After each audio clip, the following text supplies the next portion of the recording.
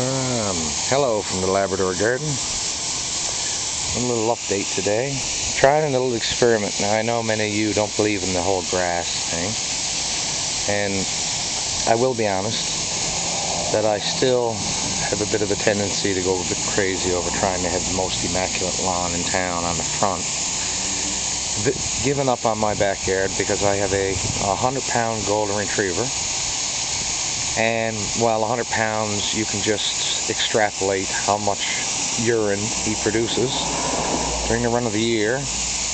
And in springtime I always end up with the same dead spots in the same spots. Heavy traffic areas areas where they pee a lot. And last year we lost our this winter we lost our little Lhasa Apso our little puppy. He uh, he died on us this winter but before the year was up, he was contributing to these as well. And he likes to go around, he used to like to go around and pee on the edges and kill all the grass along my fence, which was okay, I didn't mind that. And I'm actually thinking about mulching these side areas just to keep the grass down, make it easier to mow. Anywho, I'm just wetting down, this is an experiment I'm trying. You're looking at maybe the light stuff is the paper seed and fertilizer mix. hose. It's the Scott's Patchmaster.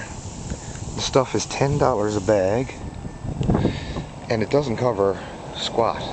Um, you're looking at maybe, you know, 14 feet across here and it's not really spread as deeply as the instructions said it should be. It should be spread out a half inch.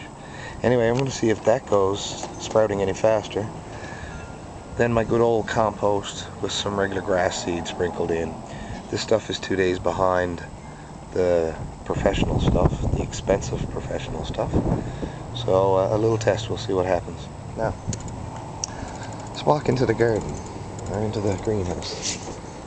It's chilly out today. I don't think it's more than six or seven or eight degrees out. It's uh, partly sunny. Excuse me for a second.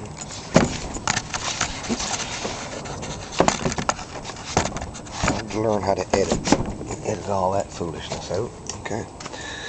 All right, in my greenhouse, um, I've given two applications of compost tea to everything in here, but my tomatoes, I don't know if the video really picked this up and do it justice, but boy oh boy are they ever dark green. They're hugely dark green. And I don't know if you can see in there, but you know what that is. There's several of them. These are container variety Tiny Tim uh, cherry tomatoes. They're determinate and they're only, you know, bound to grow so far and, uh, you know, genetically set, I, I suppose, to produce fruit at a certain point. And I'm, I, I can't remember now on the package, I think it was maybe 60 days. Anyway, we're starting to see some fruit here. And uh, boy, they're just looking super, super healthy. Uh, you know, look at all the extra growth on my stalks and my stems. My stems are huge. And that's all thanks to Praxis for sure. Ray, your, your tomato tips are number one, buddy. And look, lots more seeds. Too close. Flowers. So we're very happy. Oh, there comes the heater. It's 34 in here today but uh, that's with the aid of the heater because there's only brief, brief bits of sun.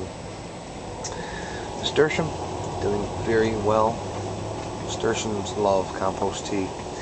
Uh, generally, I, I, have to say that the compost tea has just been super. It's just absolutely doing a wicked job. The broccoli, lots of broccoli around it coming up. Still no beans in the back. Any day now, maybe. My peas are going mad, that one is. And Olivia planted, and Grace, both of them planted beans, but uh, they were a little early. We learned that our first vlog episode, I guess. And uh, anyway, Olivia's bean, uh, I chopped off the dead parts and left it in because it still had a bit of life to it, and it's taken hold again. And zinnias. And there's my columbine still hanging in there. And my snow peas in a pot, doing excellent. They'll go outside soon when it uh, warms up a little bit. we had almost a risk of frost last night. There was a chance of snow even on the forecast. So. And my carrots. I think it's getting uh, about time that I start considering weeding out a couple of small ones maybe or making some room. All of my onion sets are up. My Spanish onions and my red onions. Coming along nicely. Starting to see some uh, more bacopa come back around my tomato back here and my lettuce. This is Grand Rapids lettuce.